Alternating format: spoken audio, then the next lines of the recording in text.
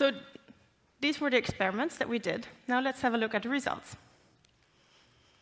So we had the consumer study, and we asked the consumers to, um, to describe the strength of the coffee. So what you see here on the y-axis is um, the perception, so it's either uh, just right, or it's too strong, or it's not strong enough. And you see below the coffees with no crema up to the largest amount of crema.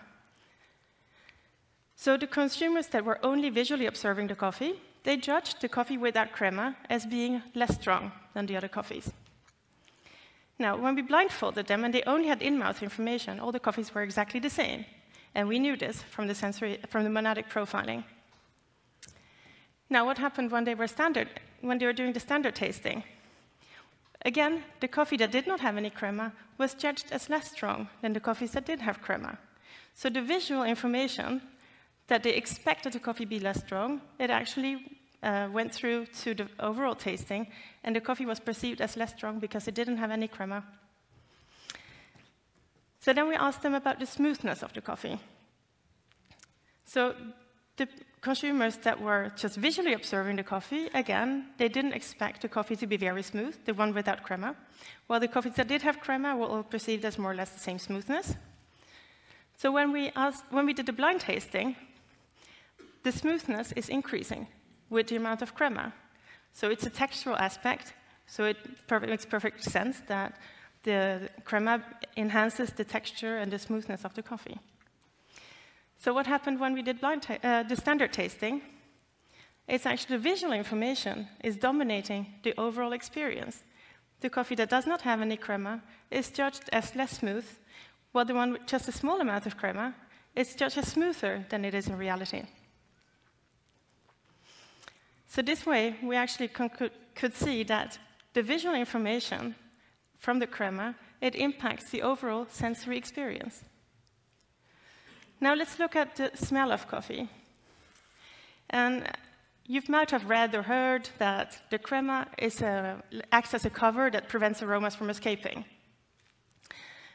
And what we show is actually just the opposite, that the crema helps to release aromas above the cup. So at the first moments after extraction, you see that the red line, which is the coffee with crema, is above the, the line, which is white, where we have removed the crema. So uh, we, here, we only have two coffees here. It's with and without crema. And on the y-axis, you see the um, one aroma marker and the intensity of this aroma marker. And on the x-axis, you see the function of time. So you see that the, at the first moments after extraction, the coffee with crema actually has a higher am amount of aroma above the, above the, cup than the white line. Uh, at longer times, however, the coffee with crema is below the line, white line, which is the coffee without crema.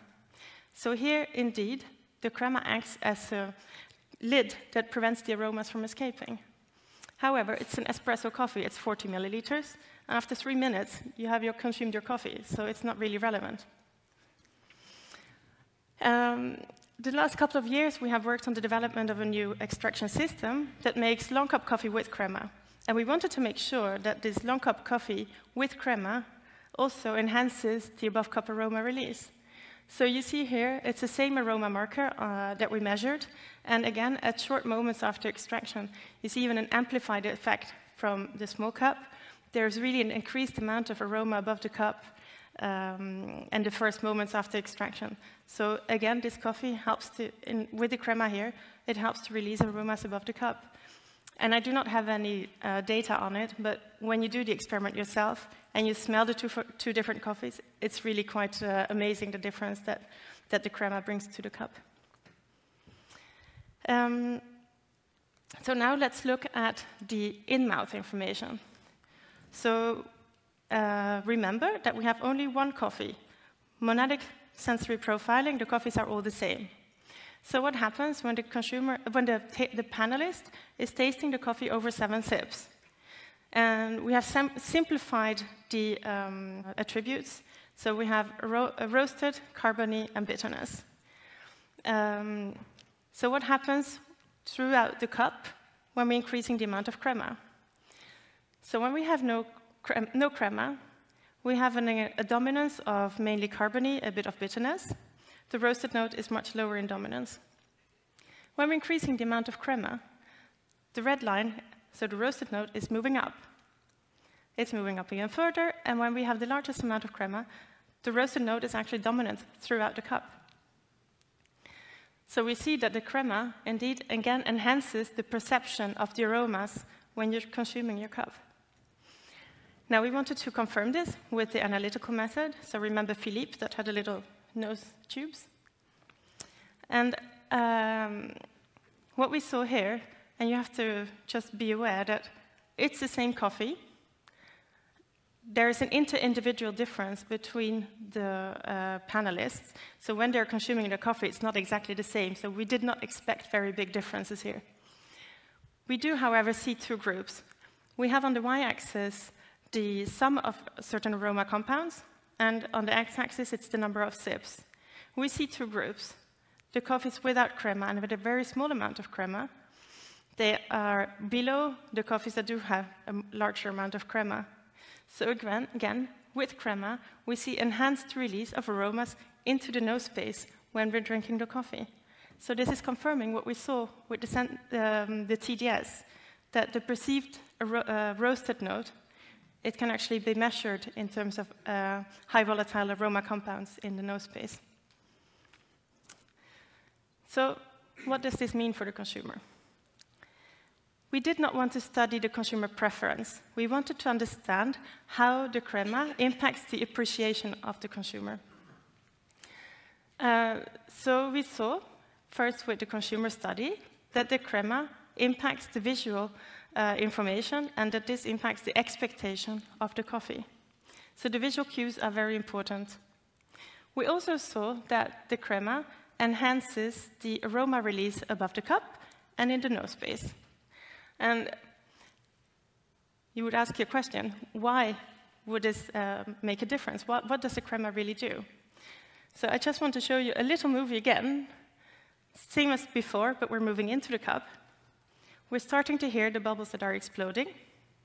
So what happens when you extract your coffee is that you have a high amount of aroma volatiles that are encapsulated into the little bubbles.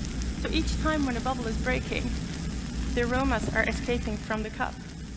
So the molecules are coming out, and you're actually having an enhanced perception of the aromas above the cup. So I hope I've been able to illustrate to you that taking a scientific approach to better understand a traditional sensory uh, methodology can actually help to better understand the consumer appreciation and also to create new value in coffee. We have used this study, the information from this study, in our communications to our consumers. We talk about the crema not only in visuals, but only how it impacts the sensory experience. But it also gave us confidence when we were developing a new uh, product, long cup coffee with crema, that there is a really enhanced benefit of having this crema on the long cup as well. Such a study is, of course, done through the collaboration of many different people. So here we work together uh, between the headquarters of Nespresso together with the Nestle Research Center, and I'd like to thank all my colleagues that contributed to this work. Thank you.